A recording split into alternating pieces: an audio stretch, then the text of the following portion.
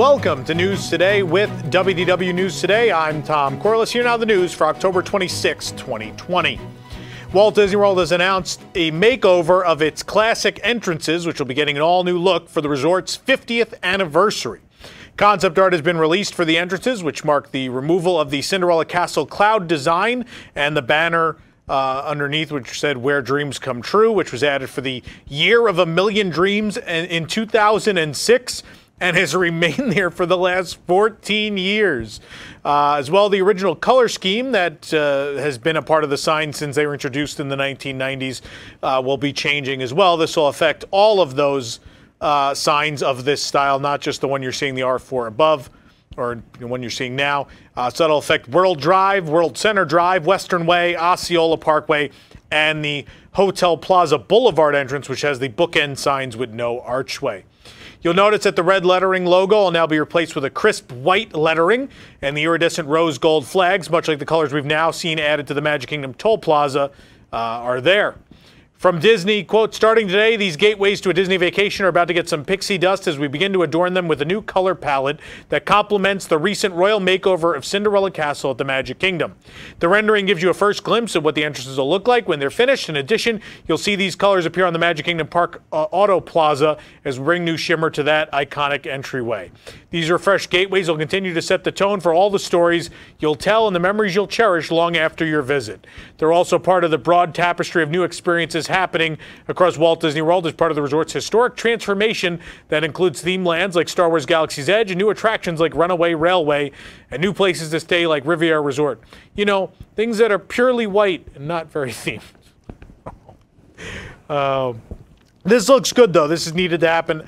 I'm always going to be partial to the purple. I like the purple at the TTC. I like the purple on these signs but I'm glad the stupid cloud castle's coming off. I'm happy about that, and I'm glad um, it's going to say most magical place on earth rather than the where dreams come true thing, which they all had. Even Tokyo, every every resort around the world had that. So this is this is a nice update. I'm I'm very happy about this. Disney's Fairy Tale Weddings has just announced the return of weddings at Walt Disney World. Of course, new guidelines to keep guests and cast members safe include face covering requirements, physical distancing, and limited guest counts. And from the Disney Fairy Tale Weddings Ever After blog, quote, we're honored to announce weddings have resumed as part of our phased reopening of Walt Disney World Resort. The Disney's Fairy Tale Weddings team has been working diligently with our health and safety team, looking at our experiences in detail so our couples and wedding guests can celebrate in a magical way. With health and safety in mind, we've implemented a combination of new measures that consider the guidance of local government and health officials. These measures include, again, face coverings, which will be required for all guests and members of the wedding party. During the ceremony, the couple may be able to remove their face coverings for a limited period of time while properly physical distancing. Uh, our events will also include measures to promote physical distancing among guests and cast members. Upcoming weddings will have limited guest counts, and we're working with our couples to find creative ways to set their ceremonies, receptions, and more. Pass holders can shop the new limited release Minnie Mouse The Main Attraction Haunted Mansion collection at Sir Mickey's in the Magic Kingdom early on October 28th from 9 a.m. to 10 p.m. before it's released to all guests while supplies last. The limited edition collection includes a Minnie Mouse ear headband, plush mug, pin set, and hip pack by Loungefly. All items eligible for pass holder merchandise discount currently 30% off through October 29th. While visiting the park, pass holders can also enjoy fall fun with special character cavalcades, beautiful merchandise, and delicious treats, which of course are lasting through Halloween.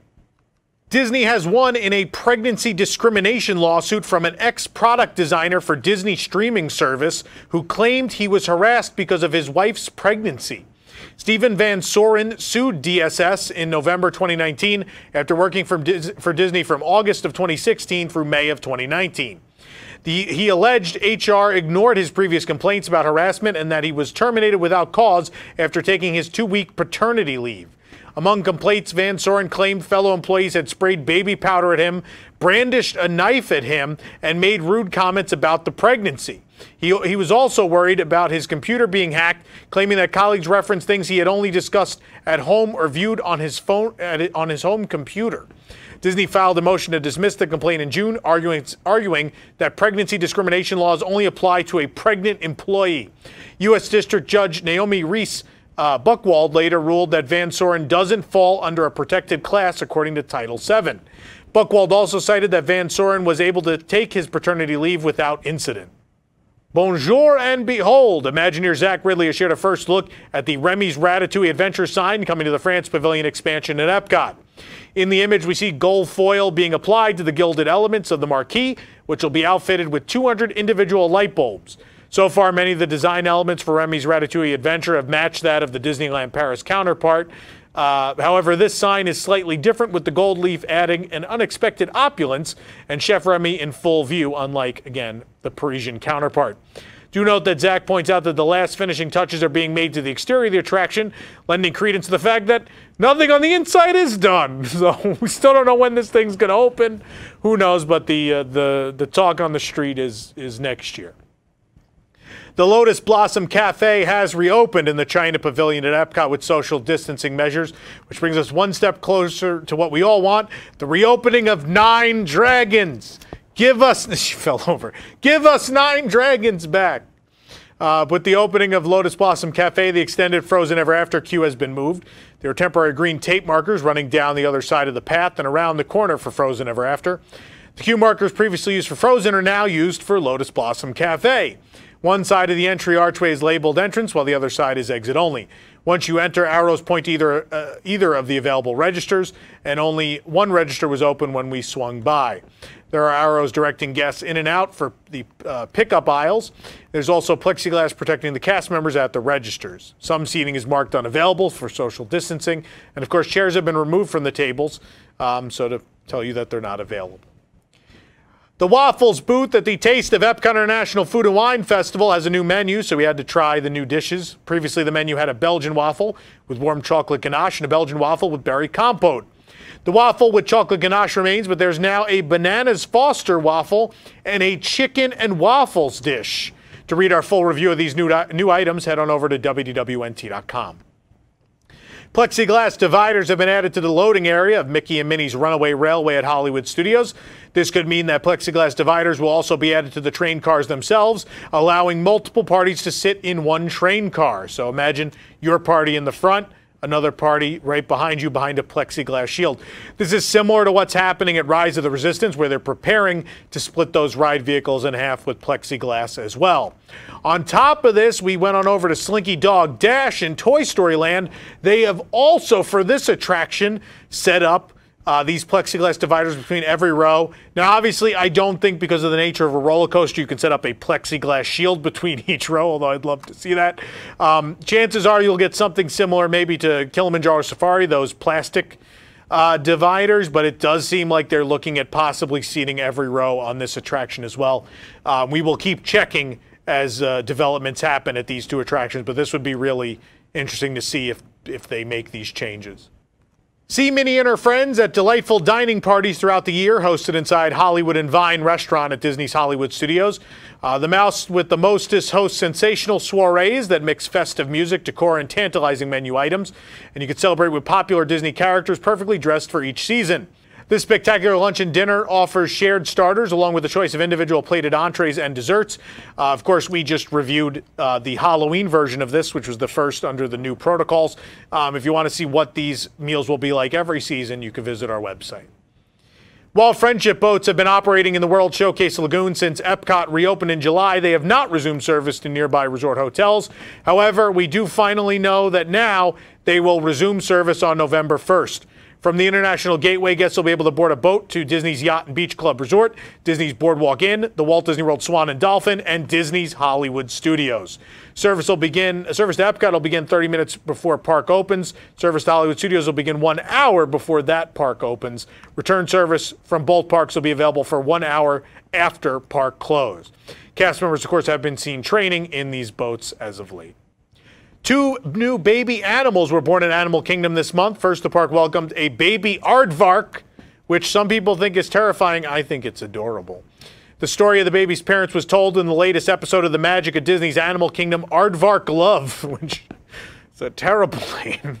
But uh, this show is great, by the way. The episode follows Aardvark's Willie and Peanut, who were set up on a blind date by the animal care team in Animal Kingdom as part of the species survival plan.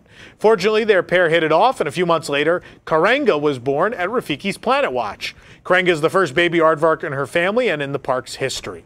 She's named after her mother, as Karanga means peanut in Swahili. The park's blog also shared photos of the newborn Karanga. Aardvarks are a sub-Saharan African uh, species. Their long snouts help them find and eat up to 50,000 insects in one night. It's me at a Disney buffet.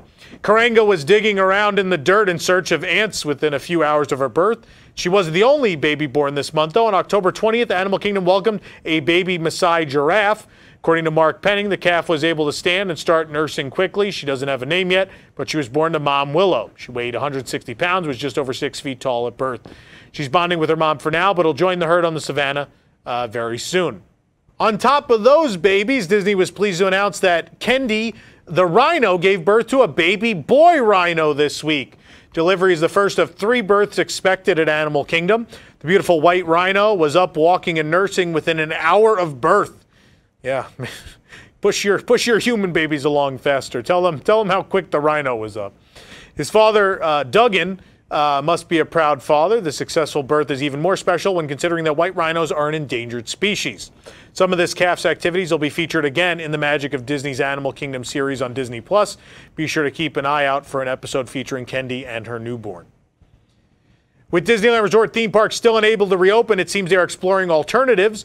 Now, Disneyland has announced they will be reopening Disney California Adventure as a shopping and dining destination with locations along Buena Vista Street coming back for guests uh, for the first time in months. Beginning in November, there'll be even more distinctly Disney dining and shopping for you to enjoy at Disneyland Resort when Downtown Disney District extends to Buena Vista Street. With Buena Vista Street soon opening, select shopping and dining experience, you can find even more places to enjoy a memorable meal or a fun shopping excursion. Only the shopping and dining experiences across Buena Vista Street will be open, though, not the rest of the park, except for, you know, Stage 17, which opened to Downtown Disney guests a little while ago. Disney did clarify that there are no plans to do anything similar with Main Street USA at Disneyland Park at this time. The main gates of California Adventure will remain closed, and guests will enter near the La Brea Bakery, uh, which is what they did when they were building Buena Vista Street, funny enough. For now, there's no specific date for this reopening. It only seems it'll be sometime in November of 2020. Uh, this will be the first time a section of the park was reopened since, of course, the closing of Disney California Adventure back in March. Animal and nature lovers alike will adore this new Forest Friends collection at Walt Disney World featuring animals from The Fox and the Hound, Pocahontas, Cinderella, and more. The collection features a new spirit jersey, leggings, and a Loungefly bag. You check out the full collection on our website. Celebrate the classics with these all new vinyl partner statue and Mr. Toad figurines coming to a special shopping event at the Downtown Disney District at Disneyland. To purchase them, you must make a shopping reservation. To view uh, more details on this, you can also head to WDWNT.com. For those of you who love denim, your wish is Mouse Gear's command. You can now add a Walt Disney World denim spirit jersey to your wardrobe. The garment appeared at Mouse Gear during a recent visit to Epcot. The front of the spirit jersey includes a drawstring to tighten the hood. It has a hood, unlike most spirit jerseys. This Walt Disney World denim spirit jersey retails for $79.99 and again was found at Epcot. The holidays have begun to arrive at Walt Disney World. In fact, the entire holiday and Christmas merchandise collection is now at Walt Disney World. We found everything at BVG, that's Bayview Gifts, is what that's short for, at Disney's Contemporary Resort. That was the second location to roll out the holiday merchandise. A limited selection, of course, came earlier uh, this month at Disney's Polynesian Village Resort. On Monday, the collection will roll out in full to the Emporium at the Magic Kingdom, as well as the World of Disney at Disney Springs. Uh, if you want to check out all of these items, there are hundreds and hundreds and hundreds of them, by the way.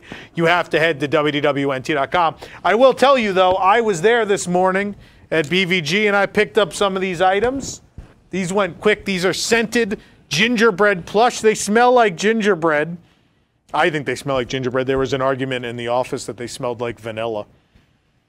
I think they smell like gingerbread. They're super cute. These sold out real fast. You may not see these at BVG, but they'll be around. They'll come back. These are great. I also picked up this, uh, I'm going to scroll off screen here for a moment. This really cool wooden Christmas tree with park icons on. You wind it up. I'm going to wind it up here. There you go. It plays Oh Christmas Tree. Isn't that cute? No, we got Halloween and Christmas on the desk right now. What a mess. Anyway, for more information on these stories and more, head on over to WDWNT.com. This program is brought to you by our official travel agent sponsor, The Vacationeer, the engineers of your next magical vacation.